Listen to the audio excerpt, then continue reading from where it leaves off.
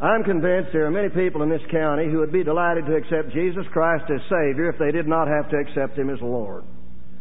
They want the good things that He has to offer, but they're not interested in bowing the knee to His authority. In truth, we cannot have Jesus as Savior unless we also receive Him as Lord.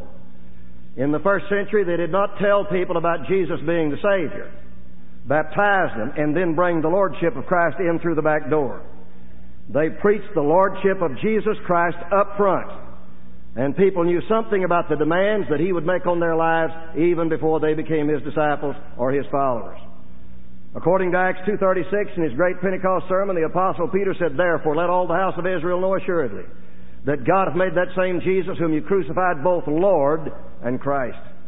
According to Acts 10.36, when he preached to the family of Cornelius, he said, The word which God sent unto the children of Israel, preaching peace by Jesus Christ, he is Lord of all. That word I say you know.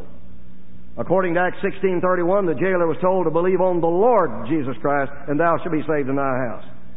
At Acts 18 and 8, Crispus, the chief ruler of the synagogue, believed on the Lord with all of his house. At Romans 10 9, that if thou shalt confess with thy mouth Jesus is Lord, thou shalt be saved. At 2 Corinthians 4 5, we preach not ourselves, but Christ Jesus the Lord, and ourselves as your servants for Jesus' sake.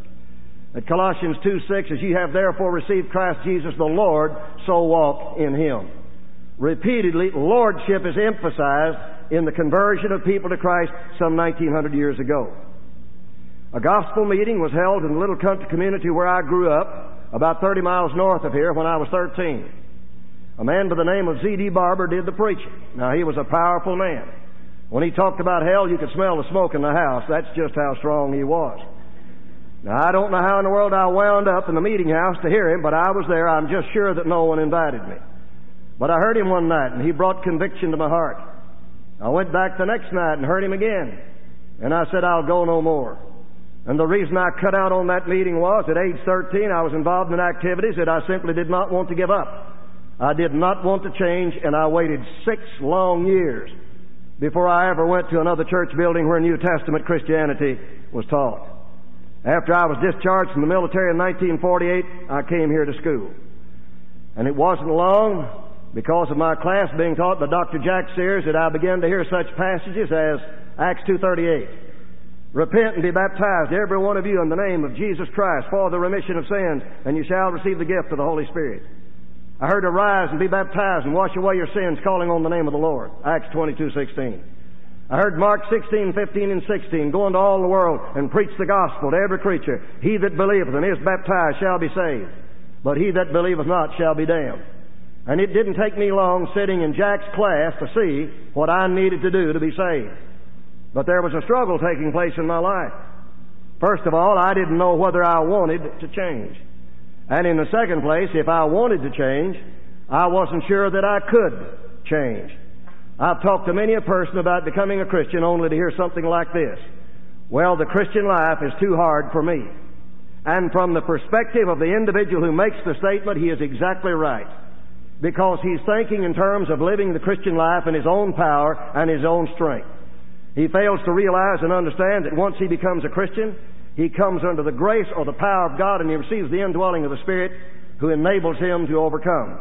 But from his perspective, I can't live the Christian life because it's too hard. He is right because he thinks he's going to do it in his own power and in his own strength. And so I was struggling with this view. I'm not sure I want to change. And if I do want to change, I'm not sure that I can change. The key to lordship is repentance. That's when you yield your will to His will. That's when you reach the point in life you can say, not my will, but yours be done. And that was the struggle in my life. I don't know when I repented. It must have been on Thursday or Friday, but I do remember this. The following Sunday, I went to church, and that was the second time in a period of six years where I'd been inside a church building where New Testament Christianity was taught. But I'd made up my mind I would respond to the invitation. I sat on the back row. Incidentally, if there'd been a row farther back, I would have been on it. But if you plan to answer the invitation, it's not too smart to get at the very back. But there I was. And when they extended the invitation that morning in a trembling fashion, I stepped out into the aisle, walked down to the front, gave someone my hand, God in my heart, made the good confession, and about two hours later, I was baptized into Christ. But the problem with me was not an intellectual understanding of what I need to do to be saved. The problem with me was, am I willing to change? Am I willing to let the Lord run my life? I'd been in, in the army, been in the infantry, and I'd learned to take orders. And I looked to the Lord Jesus Christ, frankly, as the commander in chief. And I felt like that if He said it, then I needed to do my dead level best to try to put it into practice. I knew the day I came to Christ, even though I didn't know much, I knew that I had to change my attitude toward the opposite sex. And you can go ahead and make of that whatever you want to. Make it just as harsh as you will, and you'll probably be right. I knew I had to change my attitude toward those of the opposite sex. In the second place, I knew that I had to give up drinking. There are so many people who think you become an alcoholic only when you're 45 or 50 years of age or maybe even older than that. Stonewall Jackson, a well-known Confederate general, said he wouldn't drink whiskey because he liked its taste. Well, I can say the same thing. I liked it. I'm not talking about drinking it straight, but I'm talking about when it was mixed. I absolutely enjoyed drinking whiskey, and I was a teenage drunk. I tell my students here at school, if the officials at Harding had known, they could have kicked me out of school three times after I enrolled and before I became a Christian because I was drunk three times. Fortunately for me, they didn't find out about it. But I knew I had to quit drinking. I wish I could tell you that I haven't had a drink since I've been a child of God, but that wouldn't be true. I was preaching in South Arkansas and had laryngitis. And trying to preach with laryngitis is like trying to pitch with a sore arm. And I was really having some difficulty. And there was a sweet sister in the congregation who was absolutely certain that a hot toddy would take care of my laryngitis. Now, if you don't know what a hot toddy is, that's when you mix soda pop and whiskey and you heat it. So I let her talk me into it, and I drank it. It didn't do me any good. I should have known better because the community drunk where I grew up always had a cold. But now that's that's the only drink that I've had since I've been a Christian. I knew when I became a child of God that I had to quit gambling. I remember in the army seeing those boys down on their hands and knees. Somebody had the galloping domino shaking them. Seven come eleven. Seven come eleven. Baby needs a new pair of shoes. And that always looked pretty silly to me when they were shooting craps. But I'll guarantee you one thing, when they got up to cards, that was something else. Poker was a thinking man's game, and I was a thinking man. I played poker for 18 hours at a time. Leave the table only to go to the bathroom or to get something to eat. I've lost two thirds of a month's salary in one night. I've taken the last nickel from a married man who needed his money. But I was addicted, folks, to poker. I absolutely enjoyed and loved to play that game. I wish I could tell you that I haven't gambled since I've been a Christian, but that wouldn't be true. Now, I stayed in East Dorm. Now, that was right back in this direction on the Kensett Road. Now, that's where the saints were. We were in East Dorm. West Dorm's where the sinners were. So I went over to West Dorm one night. And I was walking down the hall, and I thought I heard a familiar sound behind one of the doors. Sounded like the folding of pasteboards to me. And so I knocked, and I was allowed to enter. Sure enough, penny ante poker game in progress. And I thought I'd watch. yeah, watch. First thing you know, first thing you know, I was right in the big middle of it. And Dame Fortune was shining on me that night because I won most of the pennies. But my conscience was eating me up. And I took that double fistful of pennies and put them back on the table. And I said, Boys, you get what belongs to you. I've sinned. And I went to my room and I prayed to God and asked Him to forgive me. And I haven't played for money any time since then. But I loved to play poker. I knew I had to quit gambling if I intended to be a Christian. And you also had to clean up my language. Now, in the military, as many of you know, most of the men you're associated with are profane and obscene. Now, that's just the truth of the matter. And I had picked up profanity and obscenity in high school and got worse while I was in, in the Army. Now, I want to say this Ray Wright's here somewhere. And Ray Wright made a statement one time that I've never forgotten. Even when I used that kind of language, I had sense enough for the most part to use it only in the presence of fellow animals. I'm saying that if I got around a decent woman, I would ordinarily clean up that kind of talk and simply wouldn't use it. But I knew if I became a child of God, I had to quit using profanity and I had to quit using obscenity. I wish I could tell you I haven't said a bad word since I've been a Christian, but that would be a lie. Now, I do pretty well until I get angry.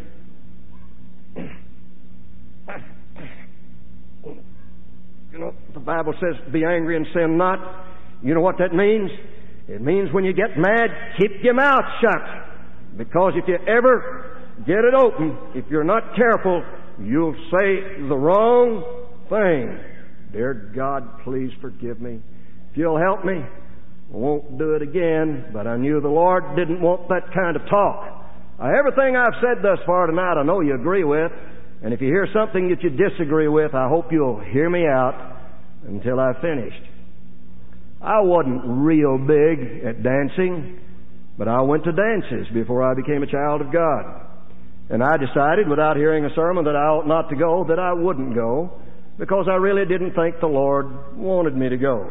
And I reached that conclusion on the basis of what I'm about to say. First of all, alcohol was almost always present at the dances. And in the second place, foul language was abundant.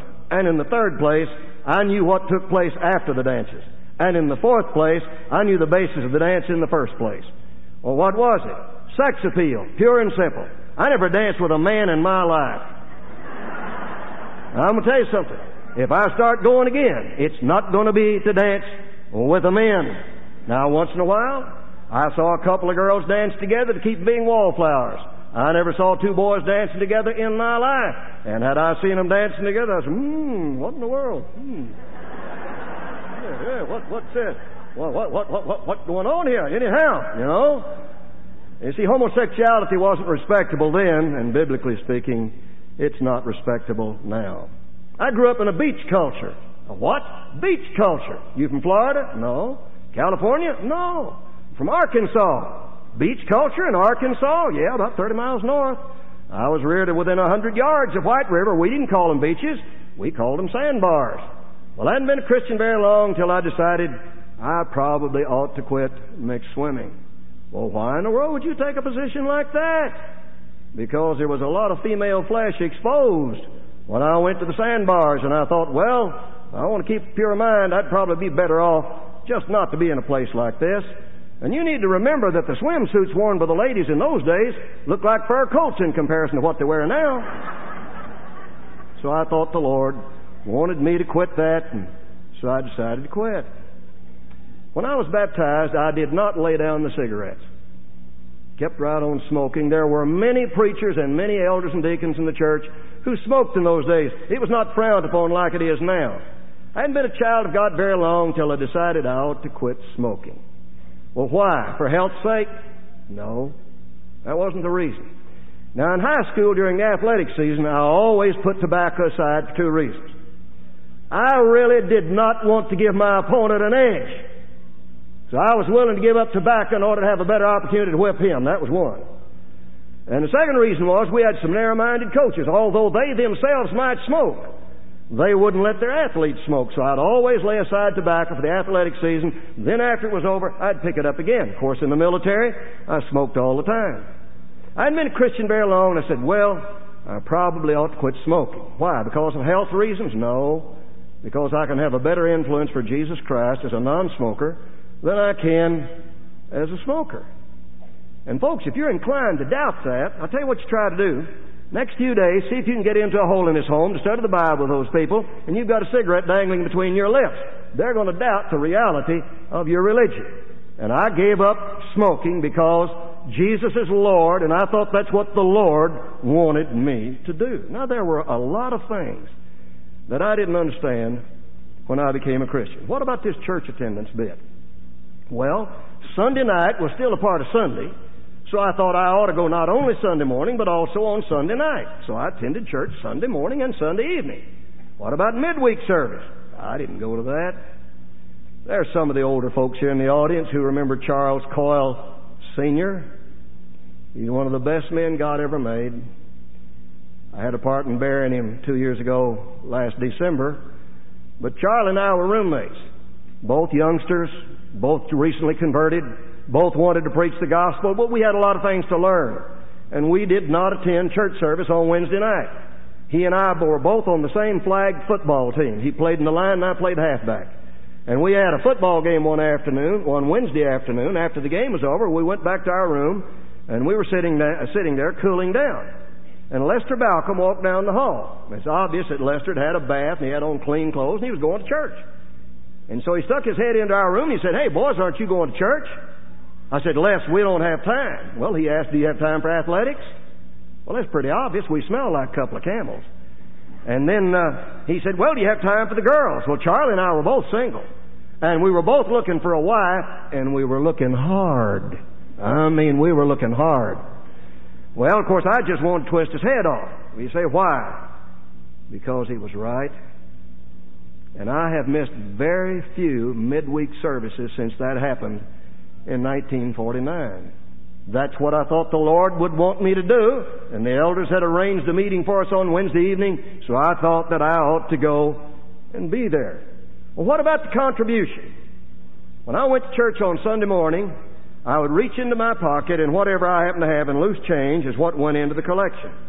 Now let's see. This evening I have 67 cents in loose change, so that would be the contribution. If it's 35 cents next Sunday, that's what goes into the collection. Whatever it is in loose change, that's what I gave. And I was looking to see if Billy Maddox is here. Brother Maddox, are you here anywhere? Yeah, that's where you're supposed to be. All right. I don't need these glasses except to see. But uh, anyhow, here's Billy over here, and Brother Maddox stood one Sunday morning. He doesn't even remember it. And he preached a sermon on giving. And he took these two ears of mine and he pinned them to the sides of my head. Brother Maddox, the first time in my life I ever reached to my help. But when they got that collection plate to me that day, I got out my wallet, and as the country boy would say, I got hold of some of that silent money. Now, that's the kind that doesn't make any racket when it hits the tray. I put in a dollar. A dollar the first time I ever did it in my life. Now, kids, it was John York who stood right here at this platform a couple of years ago, and he said he did not learn to give when he was a college student, and he said it was 20 years later before he learned to give. Now, I want to say a few things about giving. My GI Bill of Rights played out before I finished school, which means that I had to go on my own. I worked 21 hours a week for the school at 50 cents an hour. I think that figures $10.50. And I was being paid $20 a week to preach for a church about 50 or 60 miles north of here. And so I could take that $30.50 a week, live on it, take care of tuition and fees, and give $5 a week back to the Lord's cause. You need to learn to give while you're young.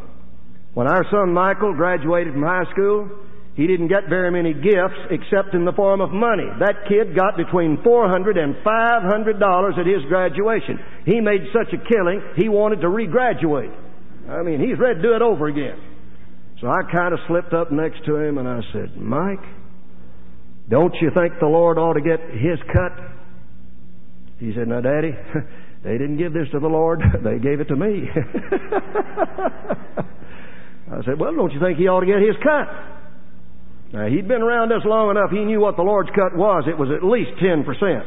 I never gave my kids a nickel, a dime, or a quarter to put in the collection tray. Always gave them at least a dollar. The nickels, the dimes, and the quarters were spent over here at the ball games. But I wanted them to know that the big money went to advance the kingdom of God. Well, I didn't say anything more to him. A couple of weeks later, his mother called me aside and said he wrote a check for forty some odd dollars and dropped it in the collection. Well, I just shot up to about 10 feet tall. I could hardly get out of the house because he had made that decision. You see, he learned to give when he was young. You need to learn to give when you're young. We have 31 elders at College Church. I know and love every one of them. Pray for them with some degree of regularity. And I would be willing for these 31 men to look at our financial records for 1997, 1996, 1995. As a matter of fact, they can see our records for any year they want. And if they can see every nickel we've made and every nickel we've given away, and if our giving has not been in harmony with our prosperity, if these good men will simply tell us what we ought to give, we'll do it. Someone said, You don't mean that. I do mean it. You want to talk about hard times? You want to talk about the depression? You want to talk about someone's people looking for work at 50 cents a day and couldn't find it? You want to talk about chopping cotton for a dollar a day and I'm talking about pulling that, that gooseneck hoe for 10 hours under that hot blazing sun? I tell you what, folks, I've chopped it, I've picked it, I've pulled bolls. As a matter of fact, every time I pass a cotton patch today, I get another call to preach. I mean, that, that's the way I feel about it. I mean, you want to talk about hard times? My grandmother and I paid $3 a month on our house. That was house rent. $3 a month. And then to be blessed financially the way I have been blessed, I may go to hell, but I'm not going to go to hell for being stingy and tight-fisted. I believe the Lord wants us to be generous. I know one thing the Scripture says, He's a priest after the order of Melchizedek, and I know Melchizedek got a tenth. And frankly, I have never had a close Christian friend in my life who gave less than a tenth for the ongoing of the kingdom of God. Now, I have an opinion that that does not necessarily all have to be done at the local church level, but I won't go into that. Well, why in the world do you give what you give? Because I think that's what the Lord would have me to do. I think He wants us to give. The day I was baptized, I knew that the Lord wanted me to share the good news with others. Now, I was pretty ignorant, but I knew that I had a responsibility to tell others about the love of God. It was simply too good for me to keep my mouth shut. I had to tell others. Let me talk to the kids for a minute. Kids, why is it that you don't cheat in a class? I know why. It's the Lordship of Jesus. Why is it that most of you, the majority of you here at Harding, don't get out here as boys and girls and roll around on the lawn with one another? It's the Lordship of Jesus. Tell me why it is that most of you do not stand out here on this campus with your arms around one another, embracing and kissing in broad open daylight before God and everybody else. I'll tell you why. It's the Lordship of Jesus Christ. Tell me why you're involved in athletics, that you play enthusiastically, you play with vigor, you play with abandon, but you always do your dead level best to play, fairly. I put some hard licks on people in athletics. I've taken some hard licks. I've hurt others in athletics. I've been hurt in athletics. But I can tell you this, as a child of God, I never wanted to maim or cripple anyone. I never wanted to put anybody down so he couldn't get up again. Why is it that you want to play hard, enthusiastically and competitively, but at the same time you want to play fairly? Because of the Lordship of Jesus Christ. Why is it when you're on a date, you treat that young lady the way you'd want someone to treat your sister under similar circumstances? It's the Lordship of Christ. Why will you not allow that young man to take liberties of your body that belong only to a husband? It's because of the Lordship of Jesus Christ. I can cite you Harding rules. We've got a student handbook just filled with rules. But I'll tell you this. When the majority of the kids at this school decide that they're not going to follow the rules, we'll simply have to shut our doors because we're not running a police state. It's not the rules in the handbook, it's the Christ who's behind the rules in the handbook that will get submission and obedience to what's in that handbook. That's what will do it the Lordship of Jesus. Why is it that you men strive to love your wives as Christ loved the church and gave himself for it? And don't tell me it's always easy. Why do you try that? The Lordship of Jesus. Why do you ladies always strive to be in submission to your husbands as the church is in submission to Christ? And don't tell me that's always easy because of the Lordship of Christ. Why is it you strive to bring your children up in the nurture and the admonition of the Lord? Because of the Lordship of Jesus. Why is it you as young people respect and honor and obey your parents? Because of the Lordship of Jesus Christ. Why is it that this church has elders and deacons? We're convinced that's what the Lord wants. Why is it we partake of the Lord's Supper on the first day of the week? We're convinced that's what the Lord wants. Why is it we practice believers' immersion? We're convinced that's what the Lord wants. Why is it we teach that immersion is essential to salvation? We think that's what the Lord wants. Why is it we simply and only and just sing without instrumental accompaniment? Because we are convinced that's what the Lord wants. And all of us in this audience who profess to be disciples of Christ and followers of Jesus know that He is our Lord at home, at school, in the business, in the community, whatever the circumstances, wherever we are, Jesus is Lord, and we want to live in surrender and submission and obedience to Him. And I repeat, the key to Lordship is repentance. Some of our old time preachers would speak on repentance and they would call it God's hardest command. And I am convinced that's right. Don't you feel the struggle in your life? Can't you feel this? I'm not the only one in this room who can feel this. Surely I'm not the only one. Don't you feel this in your life morally? Can't you feel it in your life on doctrinal issues? Can't you see these antagonistic forces pulling in opposite directions? Do you have in your life what I do in mine? I say, well, dear God, I'll tell you what I'll do. I'll give you this 95%, but I'm going to take care of this 5% over here. It's too big for you to handle. I'll take care of that. He says, Jim, I want that 5% too. Well, Lord, Lord surely not, let me have this 5. No, I want that. All right, all right, I'll give you that five. Boom, and here's another 5% jumps up. Well, I'm going to take care of this. You can't handle it. I'll handle this. Look, Boom, I want that. And that's the way life is. Somebody said, Well, I don't feel these antagonistic forces. I don't feel these opposite pulls. I'm not trying to be mean. If you don't feel them, I think you've already surrendered to the devil. You've already gone over. I'm 67 years old. I've been a child of God for 48 years. And I can feel these pulls. I mean, the strain, the stresses going on in life. Jesus is the Lord. And He intends to run the whole life. And it's so hard for a half hearted individual to walk with a wholehearted Christ. He intends to be the master, the boss, the ruler. And we have to think in these terms, regardless of what we're doing, regardless of the circumstances, He must be the master. Now, I've got one more point to make. Please don't grab the songbook yet, but I've got one more point to make. If you have little children, what I have discussed tonight is going to be very, very important in their lives. Because if you study the Bible with your children and you pray with them at home as you ought to, and if you carry them to church Sunday morning, Sunday night, and Wednesday night, and incidentally, those of you who aren't married, most of you are going to be. When your kids get up about eight, nine, ten years of age, they're going to be talking to you about being baptized. And when they begin to talk to you about being baptized, what are you going to say? Well, I know what you're going to say. The first thing you're going to do is ask them a question. Well, honey, why do you want to be baptized? Those of you who are over at College Church this morning at first service know that Sandra Ross, an 11 year old young lady, was baptized into Christ. And when I talked to her last week about being baptized, of course her mother and daddy's already talked with her a lot. But when I talked to her about being baptized, she gave me the answer I was looking for. When you talk to your children, they may say, I want my sins forgiven. Well, that's a reason for being baptized. I repeat Acts 2.38, repent and be baptized in the name of Jesus Christ for the remission of sins, and you shall receive the gift of the Holy Spirit. Or Acts 22:16, arise and be baptized and wash away your sins, calling on the name of the Lord. But let me tell you something, folks. It's pretty easy sometimes for a child to parrot for the forgiveness of sins. Now, Marilyn and I have three children. I baptized all three of them. But I wasn't looking for them to be able to say simply for the forgiveness of sins.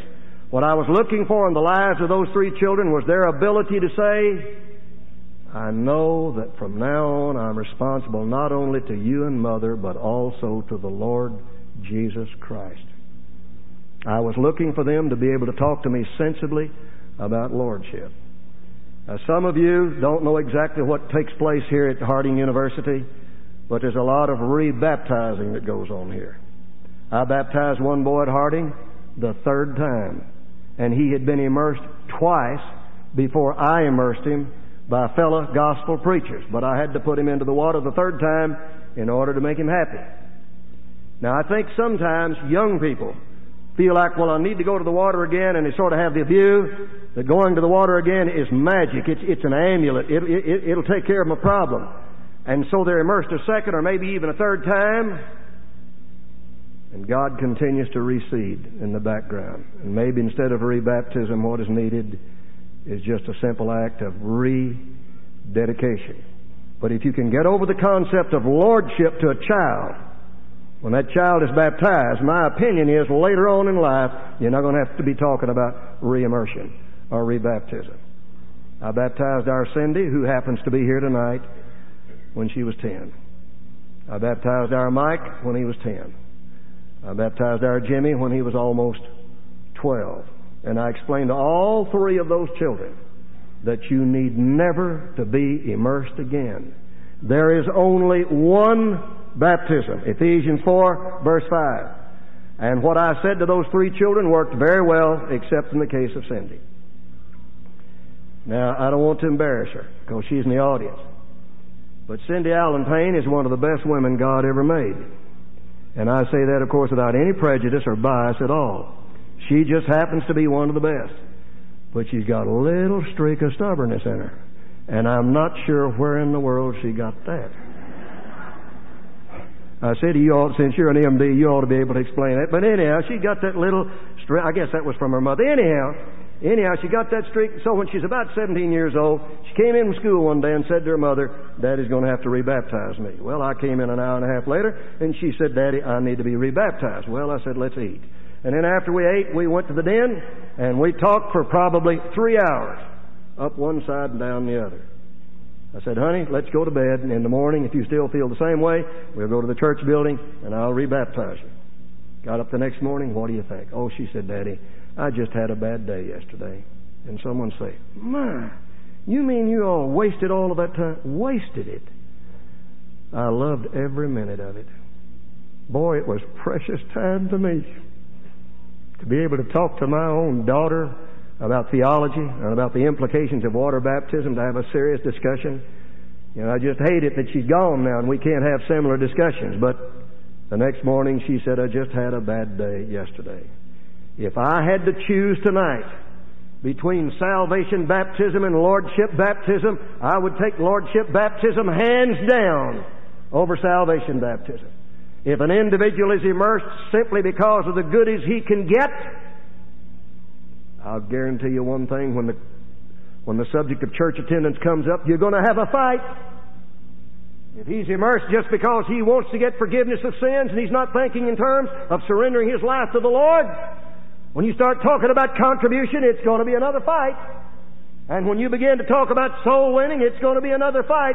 But if an individual comes into the kingdom of God, perhaps understanding about the salvation bit, but knowing that he's doing it to satisfy his Lord, to please him, and from now on, I'm going to be obedient to him. When that individual is taught more, he will do more. Because he starts with that pliable, supple attitude, and he can be molded and shaped. I read this in some religious paper a couple of weeks ago. I can't remember which one. But a man had a sign in his office Thy will, nothing more, nothing less, nothing else. And every day he goes to the office, that's what he sees. Thy will, nothing more, nothing less, nothing else. And that's what the Lord wants you and me to be. If you come here tonight in an unsaved condition, you have never yet received Jesus Christ as your Lord and Savior, everything is in readiness. The important thing is that you yield your will to His will, and that takes place in repentance. And if you've not yet been baptized in the name of Christ, then you ought to be immersed and be raised to walk in newness of life. And that is the time when God in His grace and His mercy extends the benefits of Christ's shed blood to your soul and takes away all of your sins. And that's the time when He will fill you with the Holy Spirit. So you need to come tonight and do that. If you're one who used to serve the Lord faithfully, but you've grown cold and careless and negligent, you need to come back home. As I said in one of the services this morning, the Lord doesn't love you any less. He's not willing that any should perish, but that all should be brought to repentance. So you could come back home tonight and we'll pray with you and pray for you. And you can leave here in a right relationship with the Savior. You've been very kind. You've listened well. And I hope you'll make the right decision. Nate's going to lead us while we stand and sing. If you need to come, won't you do it? God bless you.